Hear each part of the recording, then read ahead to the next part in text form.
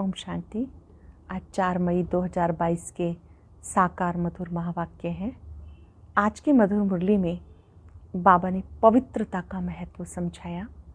इस ब्राह्मण जीवन का फाउंडेशन पवित्रता है। सत्युगी राज्य में ऊंच पद पाने के लिए पवित्र ज़रूर बनना है। घर ग्रस्त में रहते भी किसी देहधारी को याद नहीं करना। अगर कोई बच्चे श्रीमत पर पवित्र नहीं बनते तो उन्हें बहुत सजाएँ खानी पड़ेंगी। बाबा जब आते हैं, आत्माओं को याद दिलाते कि बच्चे मुझे याद करो, मेरी याद से सारे दुख दूर हो जाएँगे। जो कुछ भी है, ईश्वरीय सेवा में सफल करो। गाया जाता है, किसी की दबी रहेगी धूल में, किसी की राजा खाए, किसी की चोर लूट ले गए तो किसी की आग जलाए। सफल होगी उसकी, जो ईश्वर अर्थ लगाए। अपना सब कुछ सफल करना है। योग बल में वो ताकत है, जिससे आत्मा पावन बनती है, हीरे जैसा बनती है। अगर कोई बच्चे श्रीमत पर पवित्र नहीं बनते तो उन्हें धर्मराज के डंडे खाने पड़ते हैं। इसलिए मन, वचन, कर्म से पवित्र बनना है और सत्यु के राज्य में ऊंच पद पाना है। सुनते हैं बाबा के मधुर बोल। बाबा के शब्दों में।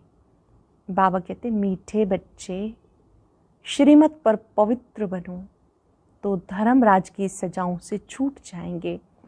हीरे जैसा बनना है तो ज्ञान अमृत पियो, विष को छोड़ो।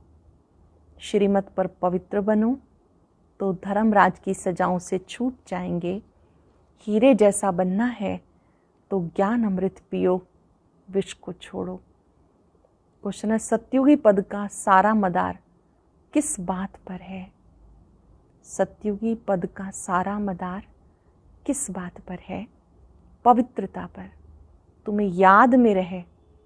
पवित्र ज़रूर बनना है। पवित्र बनने से सदगति होगी। जो पवित्र नहीं बनते, वो सजा खाकर अपने धर्म में चले जाते हैं। तुम भले घर में रहो, परंतु किसी देधारी को याद नहीं करो। पवित्र रहो तो ऊंच पद मिल जाएगा।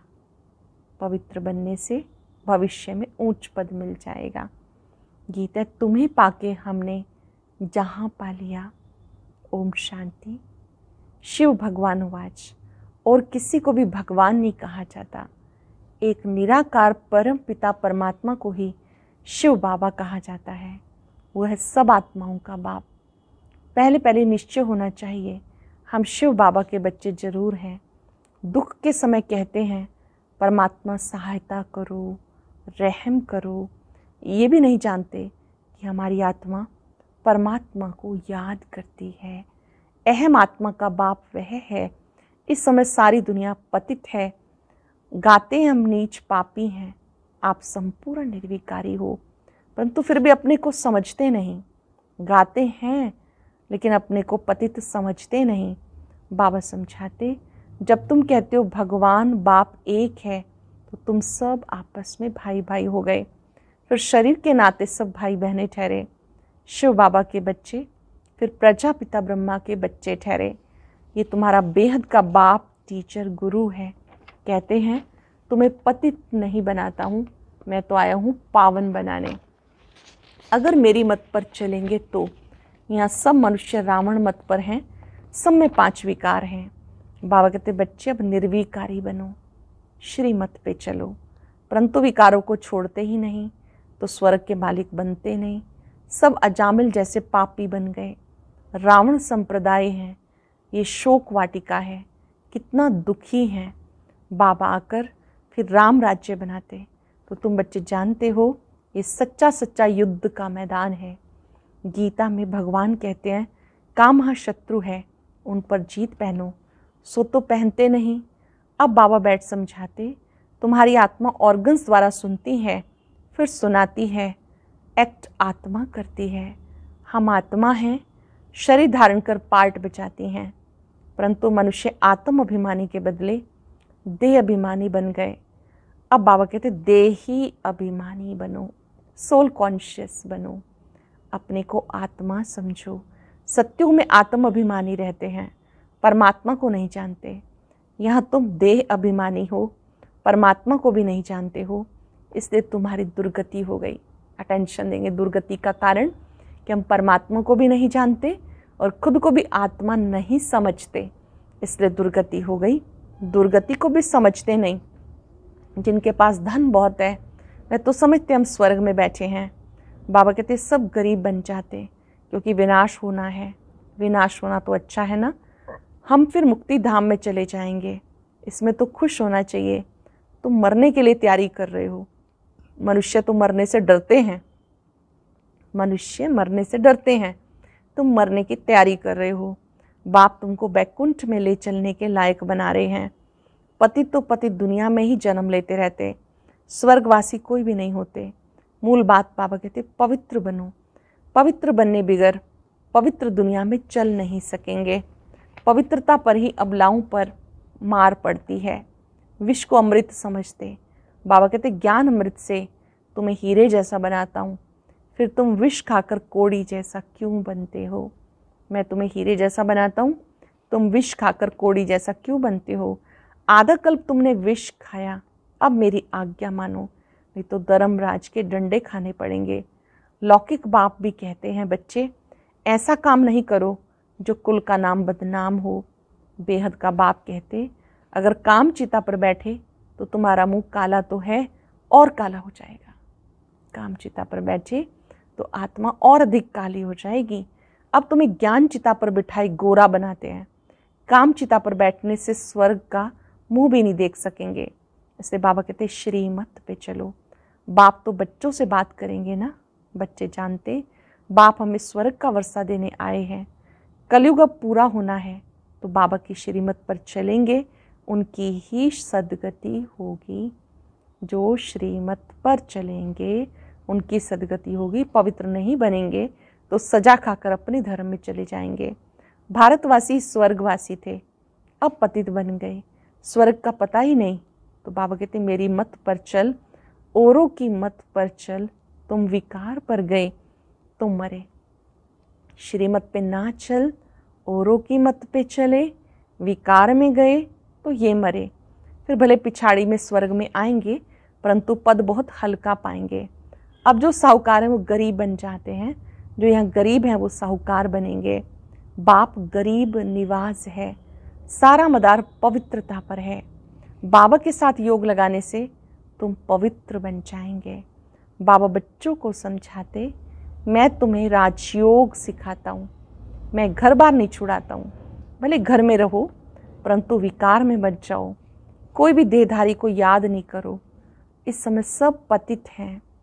पुनर्जन्म लेते लेते अब अंतिम जन्म हो गया। तुम सब पार्वतियाँ हो। तुम्हें अब अमरनाथ बाप, अमर कथा सुना रहे हैं। अमरपुरी का मालिक बनाने के लिए तो अब अमरनाथ बाप को याद करो।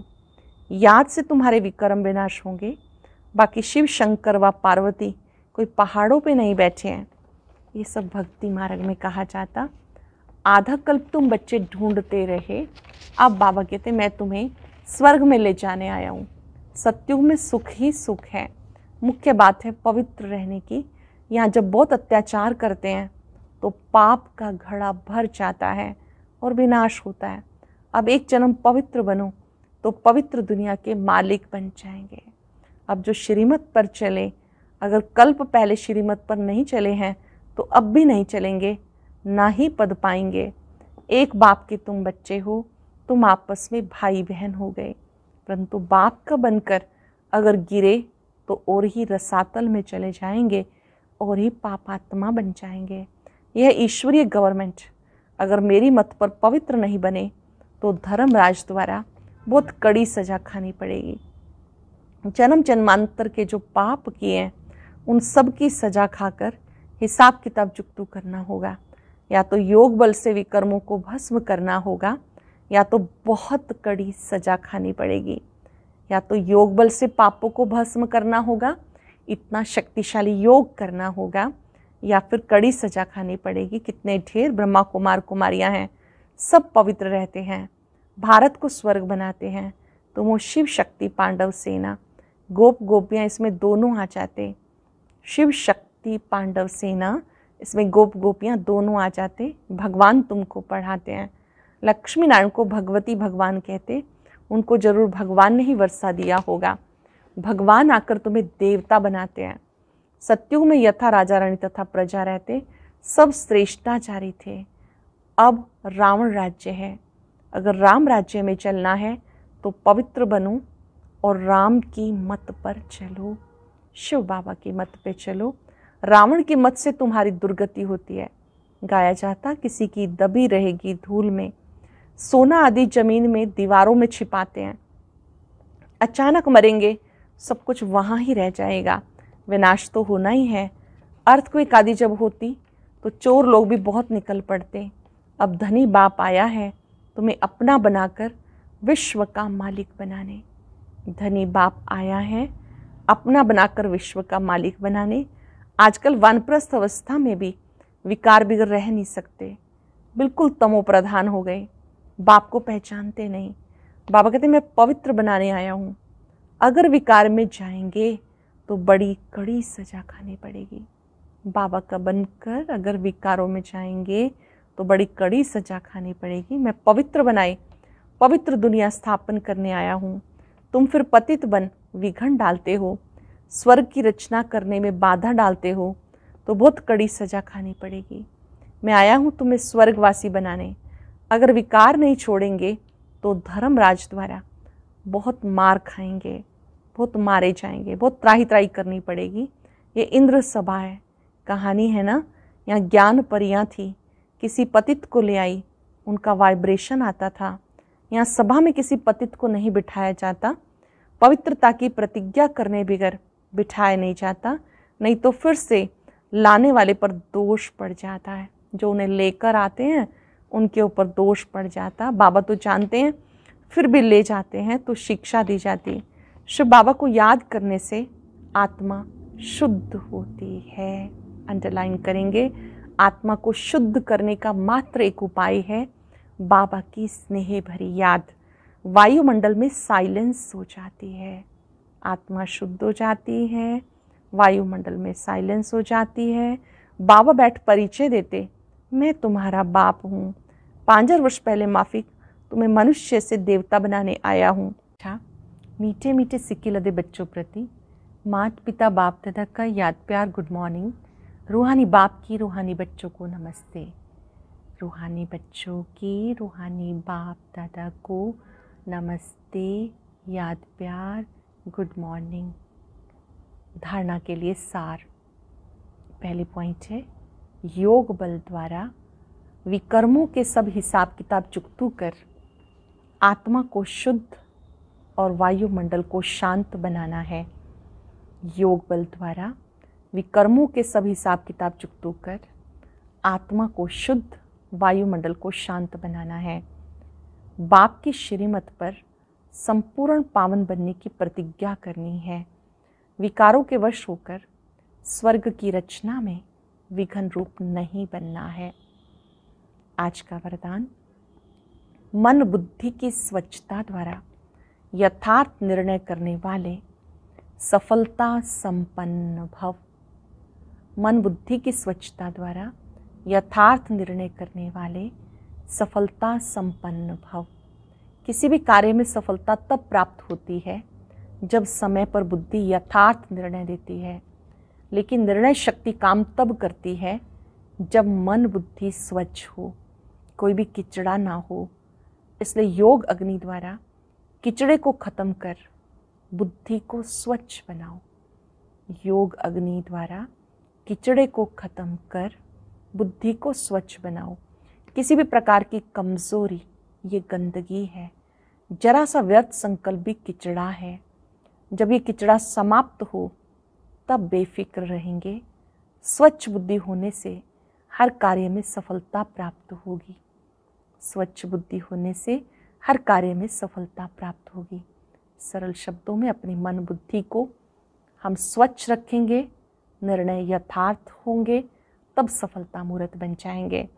स्लोगन है सदा श्रेष्ठ शुद्ध संकल्प इमर्ज रहे तो व्यर्थ स्वतः ही मर्ज हो जाएगा।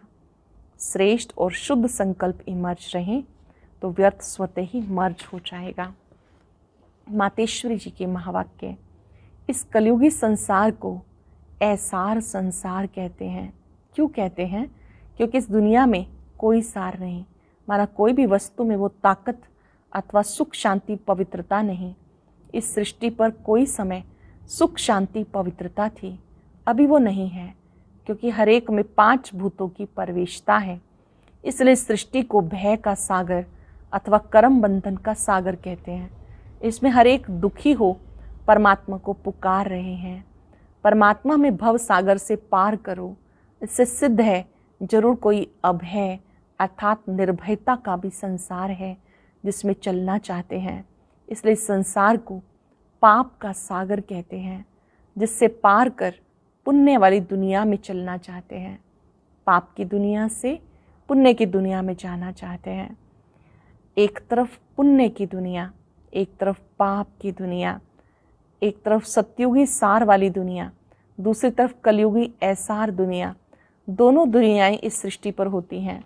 मनुष्य कहते, हे प्रभु, हम इस भाव भव सागर से उस पार ले चलो। उस पार का मतलब क्या है? इस पार से उस पार ले चलो। उस पार का मतलब क्या है? लोग समझते हैं, उस पार का मतलब है जन्म मरण के चक्र में ना आना अर्थात मुक्त हो जाना। अब ये तो हुआ मनुष्यों का कहना। परंतु परमात्मा कहते, बच्चों, सचमुच जहाँ सुख शांति है, दुख अशांति से दूर है, उस दुनिया में मैं तुम्हें ले चलता हूँ। जब तुम सुख चाहते हो तो ज़रूर इस जीवन में होना चाहिए। अब वो तो सत्युगी बैकुंठ के देवताओं की दुनिया थी, जहाँ सर्वदा सुखी जीवन थी। उन देवताओं को अमर कहते थे। अब अमर का भी कोई अर्थ नहीं। ऐसे तो नहीं, देवताओं की आयु इतनी बड़ी थी कि जो कभी मरते नहीं थे। अब ये कहना उनका रॉन्ग है, क्योंकि ऐसे है नहीं। उनकी आयु कोई सत्युग त्रेता तक नहीं चलती। परंतु देवी देवताओं के जन्म सत्युग त्रेता में बहुत हुए। इक्कीस जन्म तो उन्होंने अच्छा राज्य चलाया। फिर तिरसठ जन्म द्वापर से कलयुग के अंत तक टोटल के जन्म बदली कर इक्कीस हुए और उतरती कला वाले तिरसठ हुए। टोटल मनुष्य चौरासी जन्म लेते हैं। बाकी जो मनुष्य समझते हैं, मनुष्य चौरासी लाख योनियाँ भोगते हैं, ये कहना भूल है। अगर मनुष्य अपनी योनि में सुख दुख दोनों पार्ट भोग सकते हैं तो फिर जानवर योनि में भोगने की ज़रूरत ही क्या है? बाकी टोटल सृष्टि पर जानवर, पशु, पक्षी आदि चौरासी लाख योनियाँ हो सकती हैं, क्योंकि अनेक किस्म की पैदाइश है, क्योंकि अनेक वैरायटी है। लेकिन मनुष्य मनुष्य योनि में ही अपना पाप, पुण्य भोग रहे हैं और जन्म, जन्मांतर मनुष्य आत्माएँ अपने कर्म के अनुसार ही जन्म लेती हैं। ना मनुष्य जानवर की योनि लेता है, ना जानवर मनुष्य योनि में आता है।